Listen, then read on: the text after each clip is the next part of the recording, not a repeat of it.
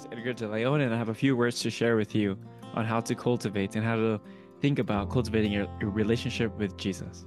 The Bible is often connecting our experience with God as a living organism, or another way to look at it as looking at plants.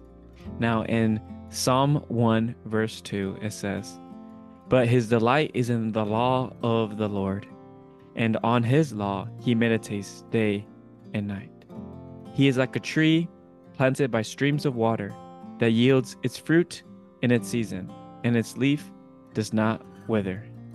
In all that he does, he prospers.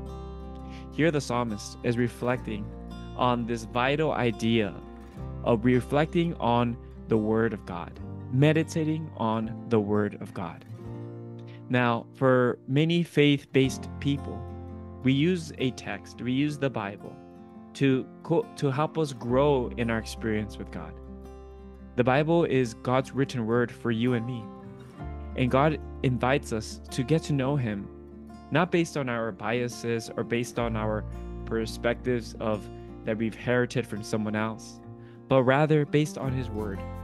And here, the psalmist highlights how for a believer, there should be delight in the law of God and a type of meditation day and night on God's word. Now, as we think about cultivating a relationship with the Lord, we need to understand that going to the Word of God helps us to know who God is, to trust Him and what He's done in the past. And we're supposed to meditate on it.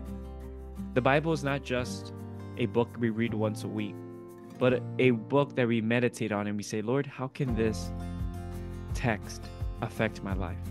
And the Bible really gives us a perspective here that when you meditate on God's word, when you spend time in His word, it's like a tree that is planted next to a river. And the idea is that a tree next to a river will have abundant water source, so the tree is strong and mighty so the tree's roots can be nourished. So the roots can then help the tree be able to um, grow and bring its leaves to receive sunlight and be able to sustain itself because of that. So when we think about cultivating a relationship with the Lord, we must consider ourselves, like we must ask ourselves to consider are we going to the Word of God to help us grow in our faith? we cannot add to our faith. Humanly speaking, the amount of discipline that we have to be religious or to be Christian, that doesn't do anything to help us grow our faith. What helps us grow our faith is going to God. And I believe reading the Word of God, meditating on the Word of God, helps us to grow in our faith, helps us to receive the nourishment that we need for our hearts to be able to process whatever is going around in our lives. So, as we think about cultivating a relationship with God, we must keep the Word of God at the center of our religious experience.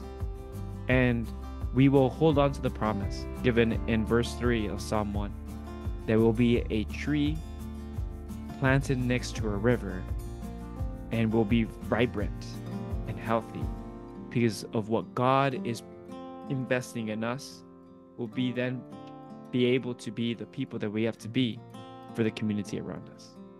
God bless you all.